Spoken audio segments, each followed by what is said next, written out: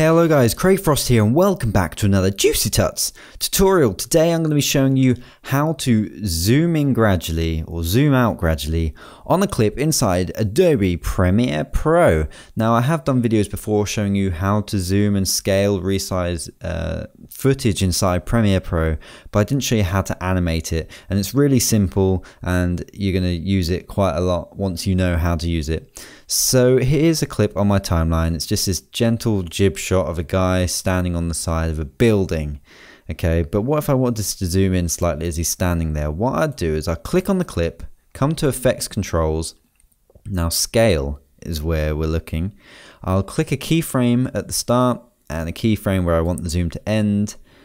And I'll click there. And then here I can change how much I want to zoom in. So maybe I want to zoom in like that much now when I play it back, it's gradually going to zoom in like that.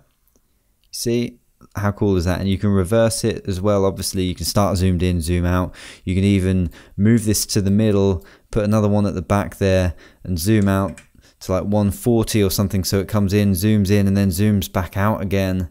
Uh, but that's how to zoom inside of Premiere Pro and Animator. I hope you found this useful. If you did, leave a like and consider subscribing if you want to see more.